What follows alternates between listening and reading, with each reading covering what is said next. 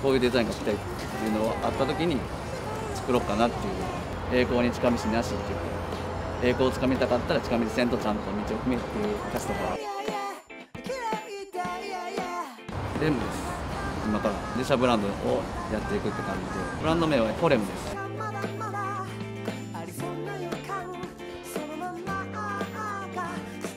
あんまり派手派手なガラガラなの着ちゃうとこのタトゥーが服がごちゃごちゃになっちゃうんでできるだけシンプルに着てジーパンとかもそうなんですけど、まあ、着やすいスタイルでいこうかなっていうのがあります、まあ、これもそうなんですけどえーとね、インスタグラムとかでやっぱり投稿見てるんで全部かぶるんですよね。フォロワーさんなん見てると。それがあんまり好きじゃないのとあとはもう自分が着たい服で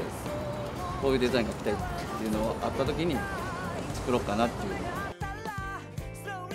ストリートの人が今多いのはやっぱ6.5オンスとかフーディーとかああいうトレーナーとか系だったら11.5オンスとかフーディーとかだと12オンスぐらいでフードが立つんですよね。あとはもう個人差によると思うんです。だからそのペラペラな生地のいい人もおるしちょっと分厚い生地の方がいいっていう人もいる。けど今の流行り見てるとやっぱ生地感がやっぱ大事やなとかディープリーフっていう、まあ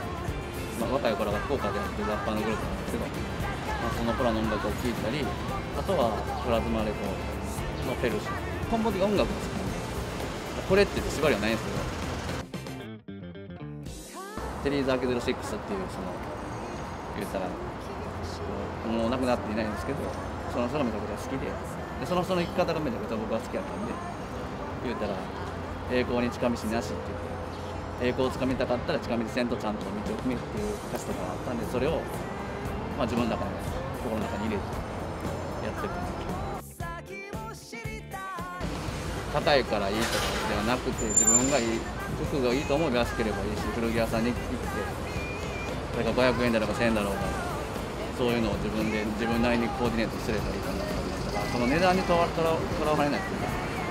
高いからいいってわけでもない自分の着たい服を着て堂々とすればいいんじゃないかなと思います。